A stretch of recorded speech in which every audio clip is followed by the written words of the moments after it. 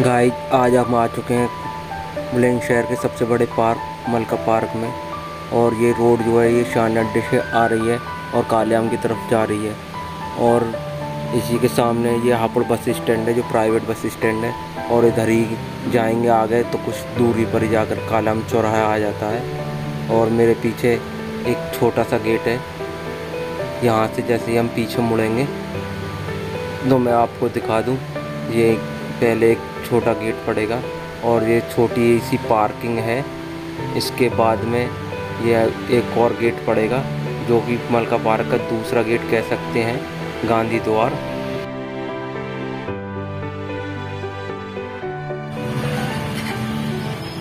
ये बुलंदशहर का सबसे बड़ा पार्क है। ये हम गांधी द्वार आ गए।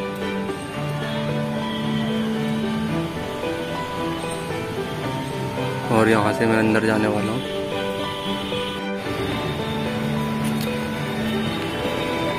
ये यहाँ पर इधर घुसने के बाद में राइट हैंड पे ये ओपन बच्चों के लिए खेलने के लिए पार्क है। और यहाँ पे ये बच्चों को झूलने के लिए या ओपन जिम भी कह सकते हैं। ये बच्चा देखो कर रहा है अपनी एक्सरसाइज जो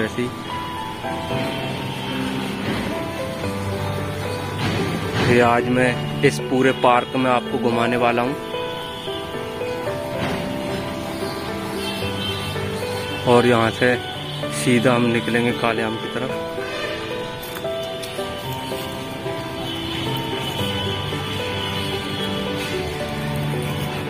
और ये मैं दिखाना चाहूँगा, ये पीछे पूरा पार्क, ये पूरा रास्ता कालेआम की तरफ़ चला जाता है। और कालेआम की तरफ़ ये पीछे जगह जगह ऐसे पार्क छोटे छोटे पार्कों में कन्वर्ट है, जहाँ पर आप पेड़ों के नीचे बैठ सकते हैं। और मैं आपको दिखाऊँ, ये पार्क सीधा रास्ता इधर ही चला जाएगा। और अब हम चलते हैं इधर ही रास्ते को देखते हुए आगे की तरफ़। ये यहाँ पर सामने कालाम चौराहा है, और यहाँ से कालाम चौराहे से सीधा मेन गेट और बड़ा गेट यहीं पे है ये। और ये गेट अब इधर से जाएगा तो दीवार कूद कर ही जाता।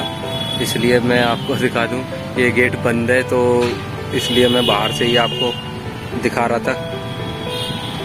और यही मलका पार्क का मेन गेट है।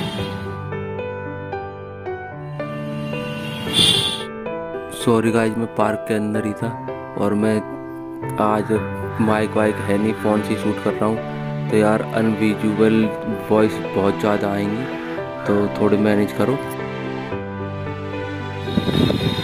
इधर ये तीन रास्ते जा रहे हैं। ये इधर एक रास्ता इधर से जा रहा है। एक रास्ता, ये एक रास्ता इधर से जा रहा है और एक रास्ता इधर से जा रहा है और ये मिडिल से जा रहा रास्ता जिधर से मैं आया था तो हम इसी रास्ते से चलेंगे। आपको डिफाइन कराना है मेरे को।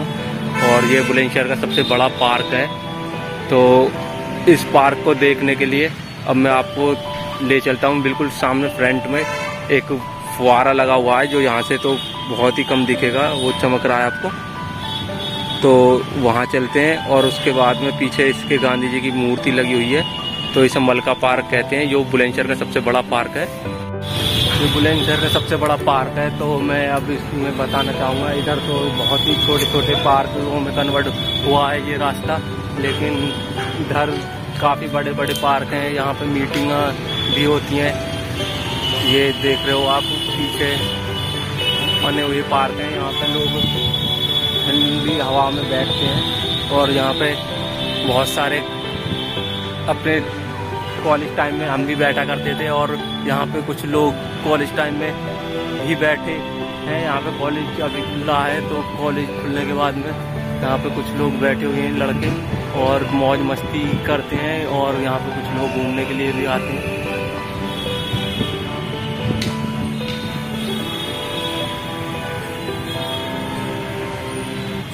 यहाँ पे काफ़ी बड़े बड़े पेड़ वगैरह हैं।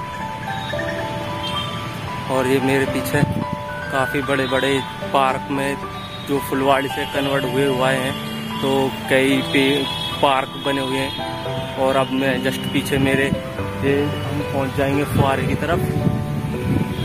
तो तो यहाँ पे इसमें पार्क के मिडिल में फुहारा लगा हुआ है।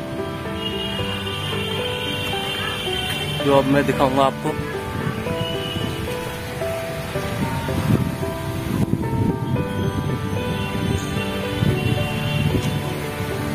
यहाँ से चार रास्ते कन्वर्ट हो जाते हैं। ये यहाँ पे मलका पार्क का मिड पॉइंट आ जाता है।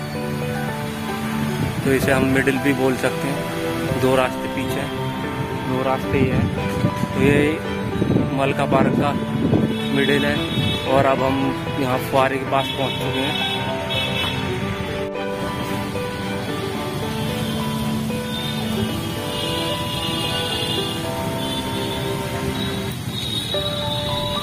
देखो यहाँ पे काफ़ी खूबसूरत है। फुहारे के अंदर बंदर बैठा हुआ है। और ये यहाँ पे पानी वानी पी रहा होगा।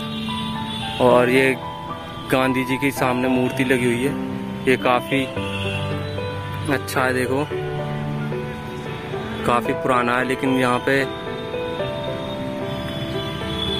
जब हम आते थे तब भी ये ऐसा था, लेकिन ग्रिल वगैरह नहीं थी और टेल्स वगैरह नहीं थी। लेकिन ये अभी टेल्स वगैरह लगा दी गई हैं।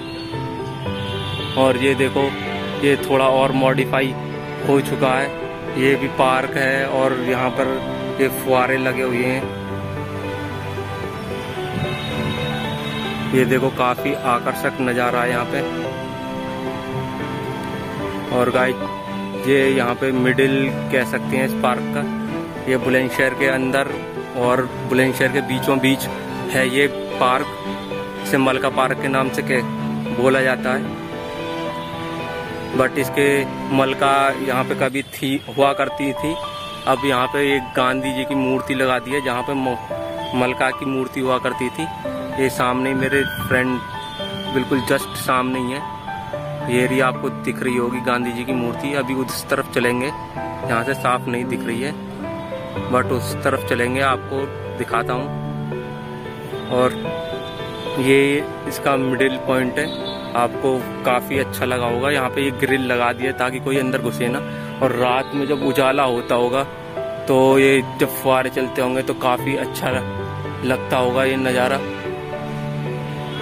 और यहाँ पे ये खजूर के पेड़ वगैरह भी हैं, काफ़ी ऊँचे ऊँचे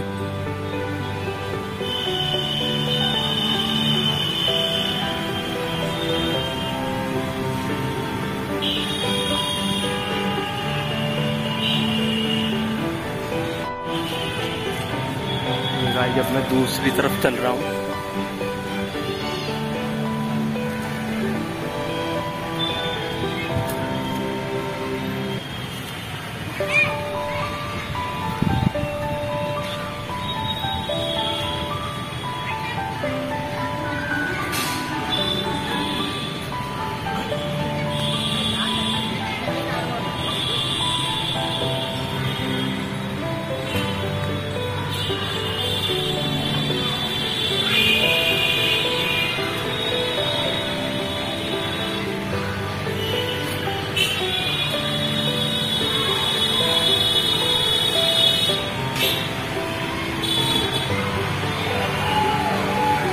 अब हम यहाँ पर आ चुके हैं दूसरी तरफ़। और ये मेरे पीछे देख रहे हो, ये खुला हुआ जिम है। लेकिन यहाँ पे ये जाली से कवर्ड किया हुआ है। और ये ओपन जिम के नाम से है तो यहाँ पे ये पीछे दीवार चमक रही है। और ये यहाँ पे पार्क के बराबर में ही ये लाइब्रेरी है। हमारे ज़िले की लाइब्रेरी है, जहाँ पे ये लोग खड़े हुए नज़र आ रहे हैं। और ये पीछे ओपन पार्क है जो कि बंद है और पुरुषों के लिए लिखा हुआ है इस पर तो अब हम चलते हैं और पल्ली तरफ़, आगे की तरफ़। तो अब मैं आपको दिखाऊँगा।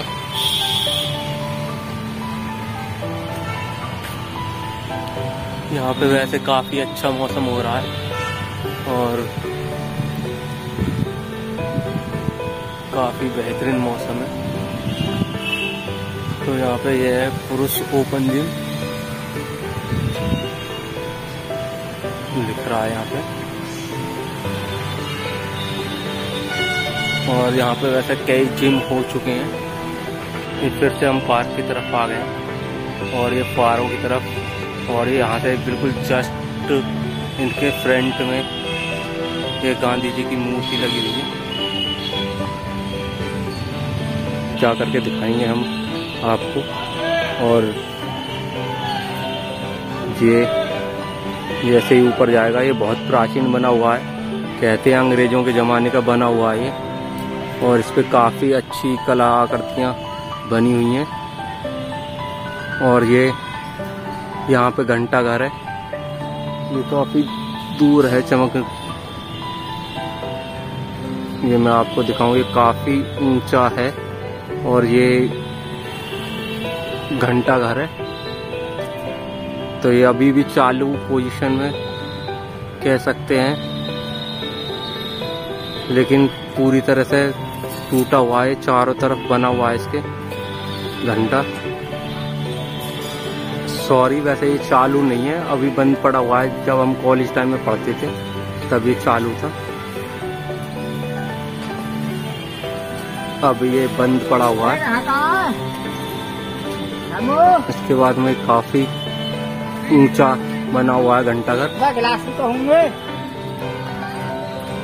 और यहाँ पे लोग ऐसे ही घूमते रहते हैं। एक तरह से बढ़िया प्लेस कह सकते हैं ऐसे बुलंदशहर के बीचों बीच बना हुआ है। और अब मैं आपको दिखाऊँ।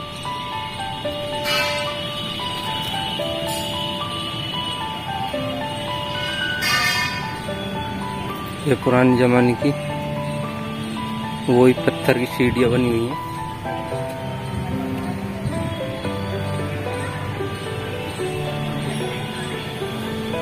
ये जो मैं काफ़ी देर से आपको बता रहा था, यहाँ पे कभी मलका की तस्वीर हुआ करती थी बुलंदशहर की मलका की, लेकिन वो काफ़ी पहले हटा दी गई थी जब आज़ादी के बाद से और अब यहाँ पर गांधी जी की तस्वीर लगी हुई है।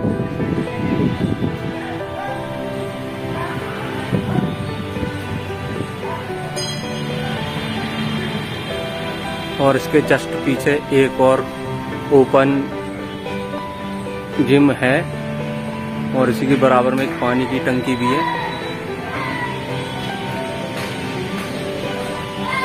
और ये जैसे कि अंग्रेज़ों के ज़माने का बना हुआ है तो मैं आपको दिखा दूँ। ये ऊपर काफ़ी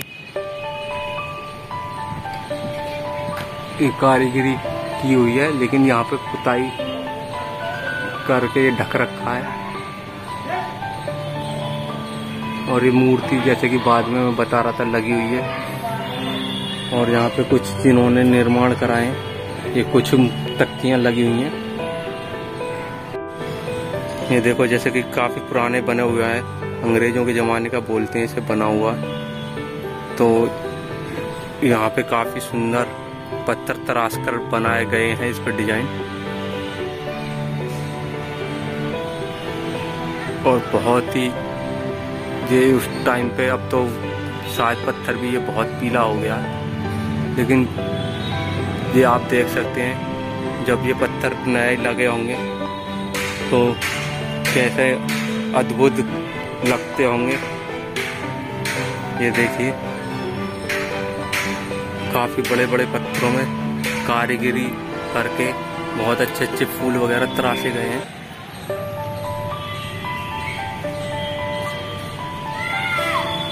ये गाइस मैं आपको बता दूँ, ये जो जगह है, ये काफ़ी सबसे पुरानी जगह है ओपन जिम के लिए। और जब हम आते थे तो यहाँ पे एक दो झूला हुआ करते थे। और इसके पीछे ये बहुत पुराना बना हुआ है स्लिप करने के लिए स्लाइड करने के लिए। इस पे हमने बहुत ही पैंट और कपड़े फाड़े हैं अपने कॉलेज टाइम में। क्योंकि ये, यहाँ से ये अब बहुत छोटा हो चुका है। अभी ये बहुत ऊँचा हुआ करता था और अब इस पर शायद कोई स्लिप नहीं करता स्लाइड नहीं करता। तो ये सामने सीढ़ी हुआ करती थी और यहाँ से हम जा करके रपटते थे और अब पीछे भी काफ़ी बदलाव आ चुके हैं। मैं आपको दिखा दूँ। ये कुछ कॉलेज की छुट्टी हुई है तो कुछ कॉलेज के लड़के आकर के मौज मस्ती कर रहे हैं। पीछे देख सकते हो।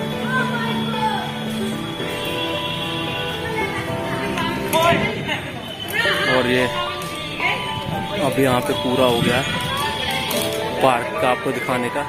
ये मेरे पीछे मैं आपको दिखा दूँ। ये यहाँ पे पीछे पानी की टंकी है लास्ट में।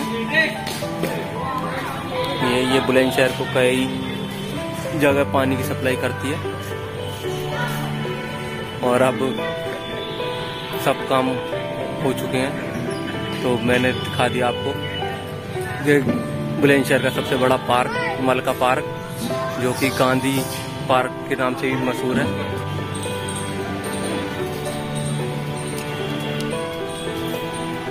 ये यहाँ पर सफ़ेद गुलाब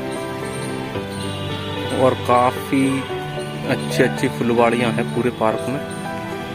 तो अब मैं आ चुका हूँ अपनी गाड़ियों की तरफ़ ये पीछे मेरी गाड़ी खड़ी है। और ये बुलंदशहर का सबसे बड़ा पार्क। हाँ।